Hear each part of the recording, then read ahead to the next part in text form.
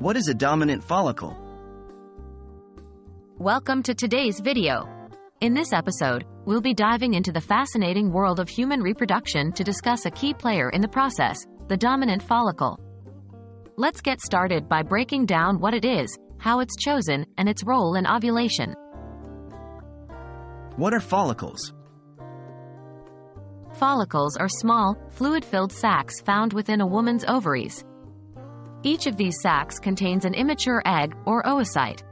During a woman's menstrual cycle, multiple follicles begin to develop, but usually only one will become the dominant follicle. What makes a follicle dominant?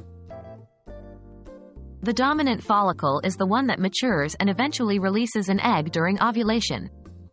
But how does the body choose which follicle will become dominant? The selection process is regulated by hormones, primarily follicle-stimulating hormone, FSH. At the beginning of the menstrual cycle, FSH levels increase, causing multiple follicles to start growing. As these follicles develop, they produce estrogen. When estrogen levels reach a certain threshold, FSH production decreases, leading to the selection of the most developed follicle as the dominant one. What is the role of the dominant follicle in ovulation? The main role of the dominant follicle is to release a mature egg during ovulation. As the dominant follicle continues to grow, it produces even more estrogen, which triggers a surge of luteinizing hormone, LH.